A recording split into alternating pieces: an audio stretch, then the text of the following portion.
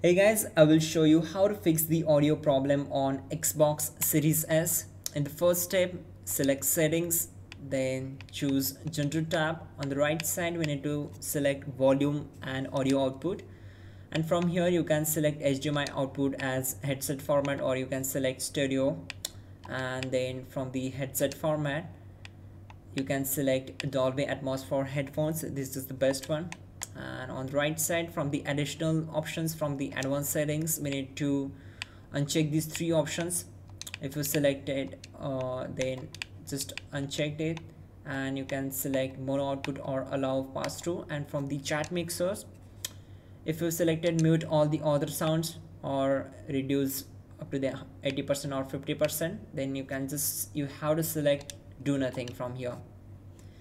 Also from party chat output to the headset and speaker. Also you can select speaker from here. Once done go back to the main settings. And this time you need to select device and connections. On the right side choose controller and headset.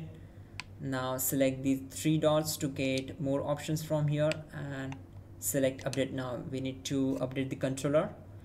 And once done simply press X button from the controller select power option and then choose restart console. And that's it guys. Your problem will be fixed. Like the video and subscribe to the channel